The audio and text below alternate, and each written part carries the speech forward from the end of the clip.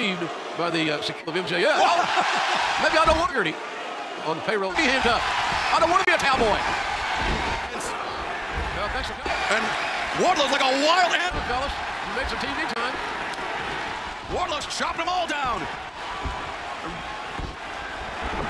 Wardlow doing his feels a raging bull here tonight. He strapped with a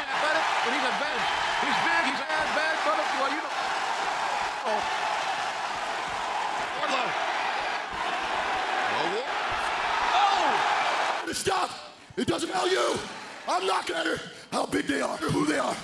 I, it doesn't matter. Not stop until I get my hands on you and you release me with my contract. In Long Island next Wednesday night at the contract.